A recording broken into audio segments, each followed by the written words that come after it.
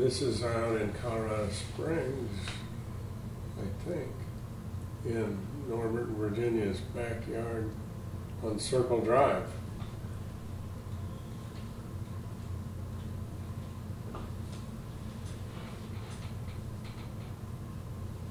We're having a picnic with Karen and Elizabeth.